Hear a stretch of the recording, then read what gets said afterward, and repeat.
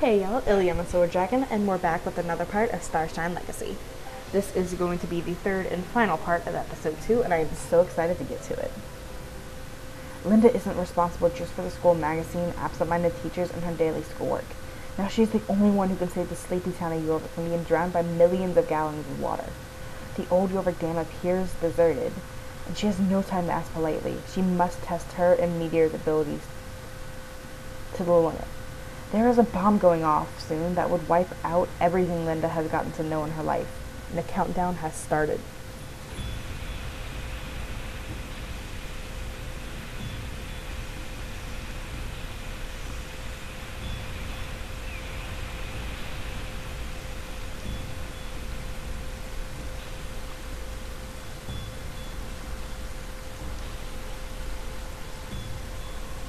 Okay. I'm here at last. I have to find the bomb as quickly as possible. It'll be really difficult to get onto the dam, and I need to use me- Meteor as well if I'm going to overcome obstacles in my way. Yeah, so we need to be really careful. I want to get back to the stable as fast as possible. I'm really hungry.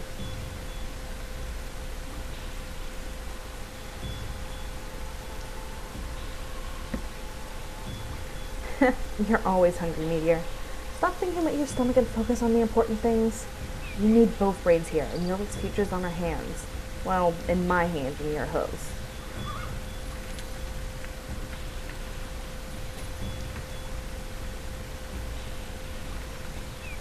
Excuse me. Why can't I move, Meteor?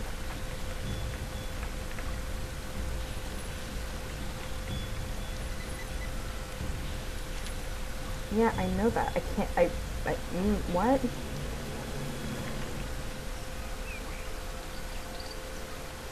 Okay. Okay, first off, no. Resume game. I phys- I physically cannot move Meteor. What is going on?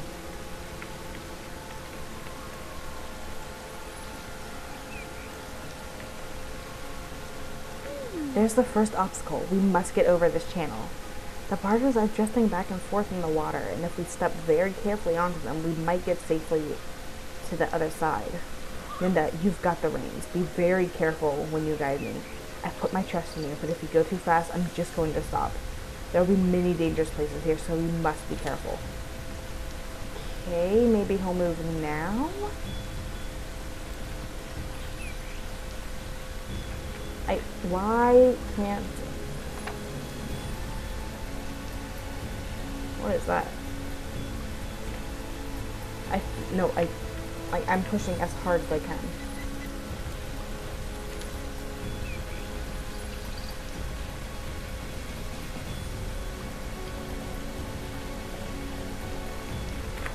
It's a, it just won't register meteor moving. Okay, maybe if I die?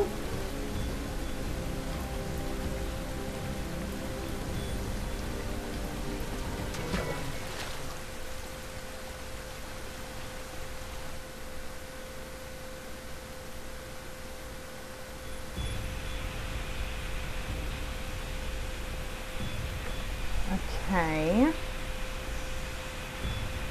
I really don't want to have to restart the game.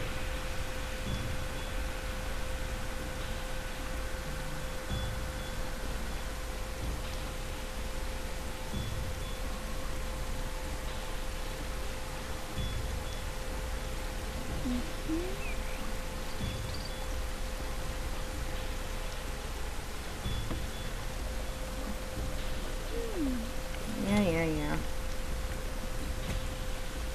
Nope. Oh my gosh. What is going on?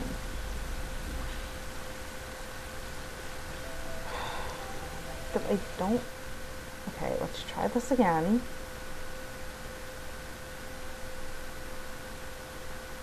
Okay, the dam.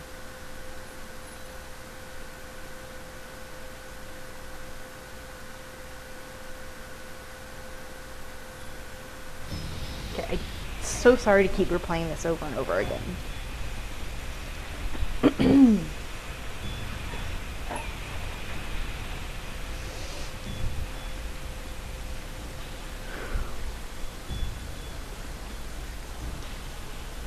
Because I don't want to get out of the browser, browser and have to restart everything. Yeah, yeah, yeah.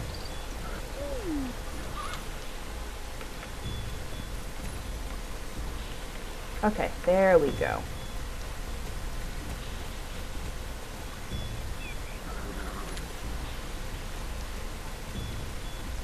Okay, so we'll have to wait for it.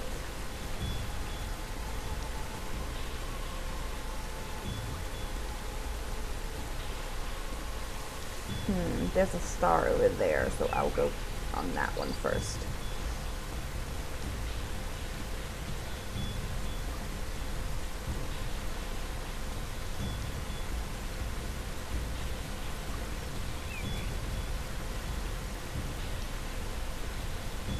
Okay, so we do move with it, which is fun.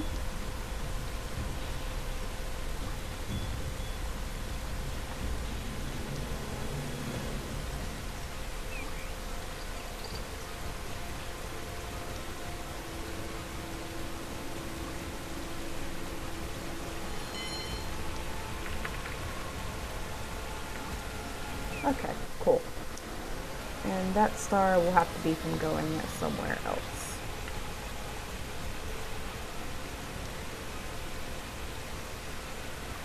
Okay, come on.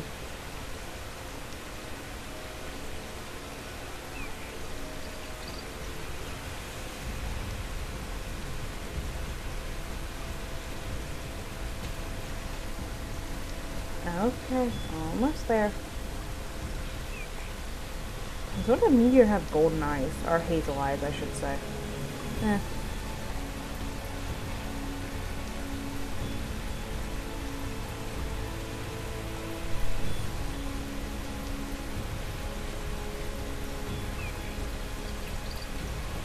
Okay. Wait, what's that over there? There's a small piece of paper on the ground. I'd really love to pick it up for you, but I don't have any hands to do it with. You'll have to get off and pick it up yourself. Yeah, it, I better take a closer look. It might be important.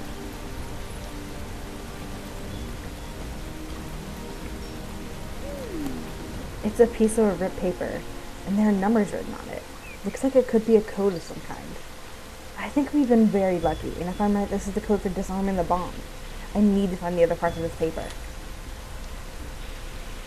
Maybe if we push that car with the crane, the concrete block in the hook might drop and hit the steel beam. Maybe that would get us over the wall. What do you think, Meteor? Sounds like a plan, but we'll need a lot of luck to pull that off. Let's speed up and push the car, and we'll see what happens.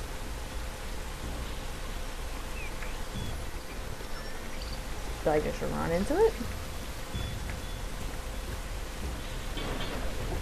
Guess so.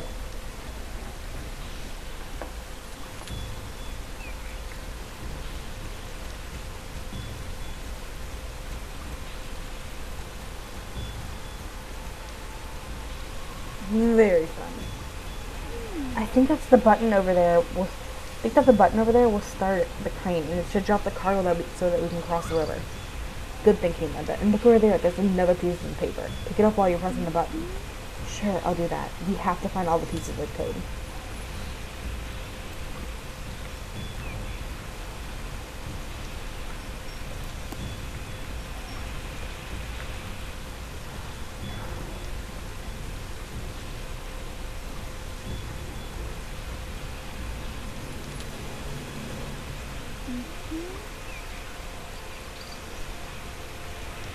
Okay, that's it. Now let's get over to the other side. Oh, that's not what I meant to do, but geez.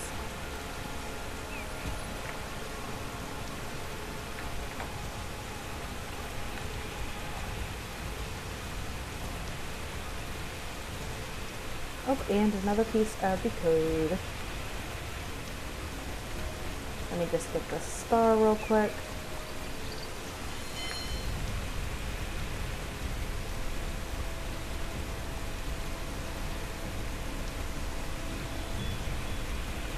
It.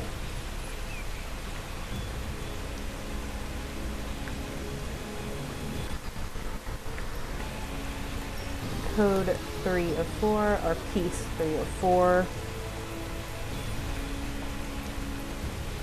Okay, so let's go up these. Why won't you speed up? Okay.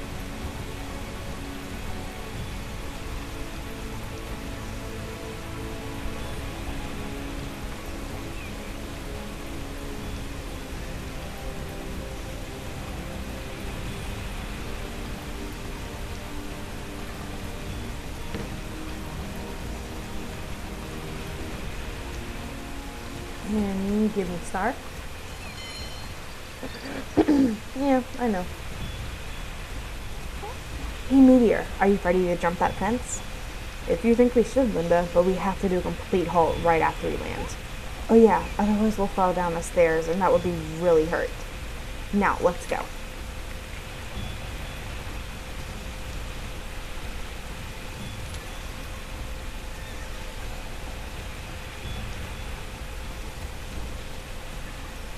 And the last piece of code.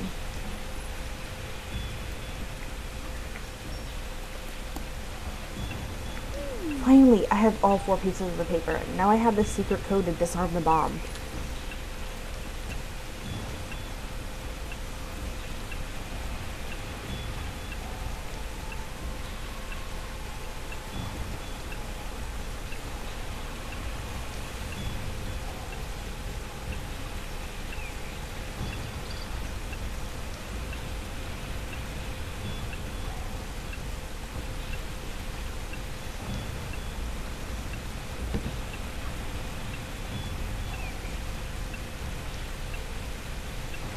Stop it.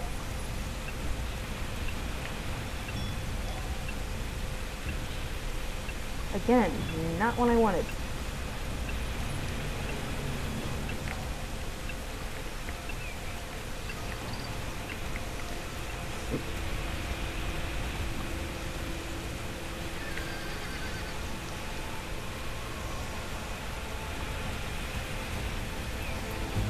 Come on, we're almost there.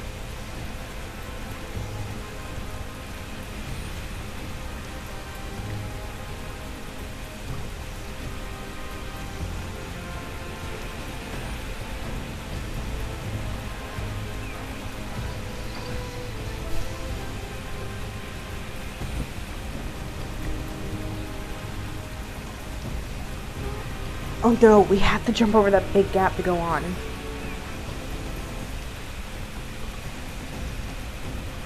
That's a really big gap. I know, but you're the best jumping horse ever, Meteor. You won't disappoint me. Well, sure, but if we don't make it over, you know, we'll fall, and it's a long way down. We could die.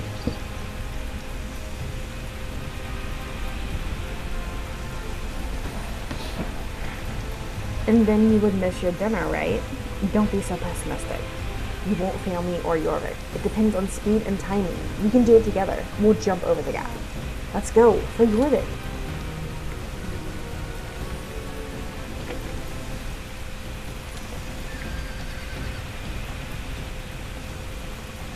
Great job, Meteor. Look, there it is. That's the bomb. Finally, now just disarm it and then we can go home and get something to eat. I'm so hungry I could eat a whole haystack. If only it were that easy, Meteor, I can't call anyone for help. I can't get through on my phone, and if I write the police in Jorvik, the bomb will explode before we can come back. I have to do it myself, as usual.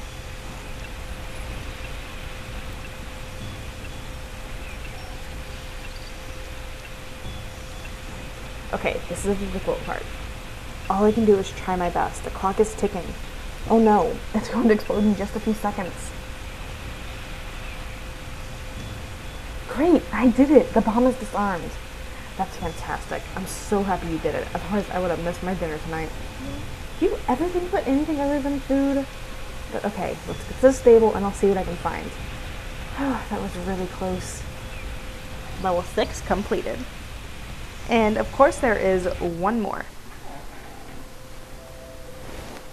The day of the horse jumping competition is here and Linda is prepared. There are no signs of trouble, and the cheering audience has no clue that this day could have ended in a great tragedy. Linda can't help can't feel that anything bad is going about to happen, and she can devote herself completely to Meteor, the jumping track, and the joy of riding. Is that Colin again? We made it to the final, but we have to win. We we must complete the course in under a minute and 20 seconds. Hello, everyone. Can I talk to you? No? Okay. Now for the final. Jump over the obstacles marked with the blue star. If you jump the wrong obstacle, you're out. If you tear down an obstacle, you add 10 second penalty to your total time. Hmm. You must jump over the obstacles marked with a blue star. If you jump the obstacles in the wrong order, you're out. It's time to start. You know the rules. May the best rider win. Okay, let's go.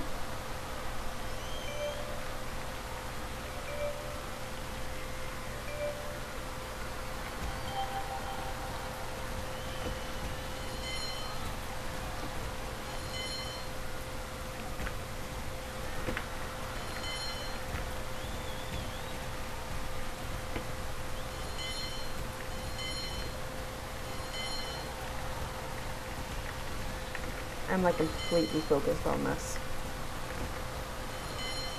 Ooh, there's a star there too. I'll try to get that after. Oh, come on. Come on. I have not. Ugh. I didn't even hit most of those. We didn't make it, but we'll win next time. I did not hit most of those. Yeah, yeah, yeah.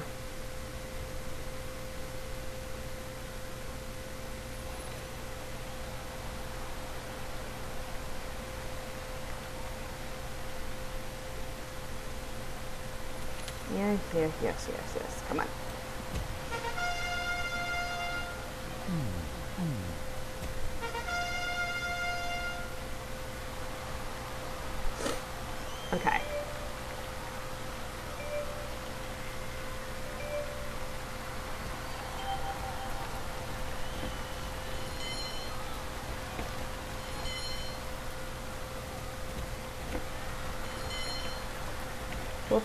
Whoops.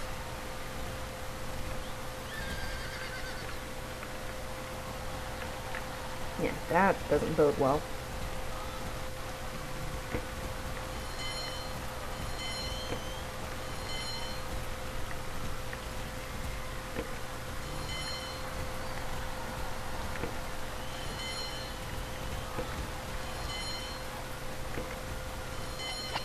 I didn't.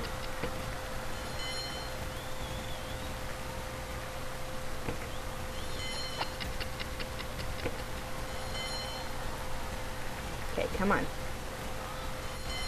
And we did it. Yeah, we won the competition, Meteor. Well done, Linda. you were just lucky. Everyone in Europe knows who's really the best. And it's me. Today wasn't your day, Sabine. Linda and Meteor were the best this time. And every time. Go home, Sabine. That's right. You also saved Jorvik and us from a terrible disaster today. Well done. It's all thanks to Linda. She did everything right, and all by herself.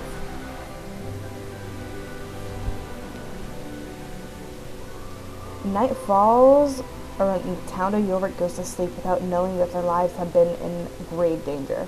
The Soul Riders are half finished, and an ancient prophecy is about to be fulfilled. The forces of evil are not asleep, and will do their utmost to destroy the four girls' chance to discover their secret and fate. And that is the end of episode two. So I'm not going to be recording anymore today. I've been at this for about an hour. so thank y'all so much for watching, and I will see y'all in episode three. Bye!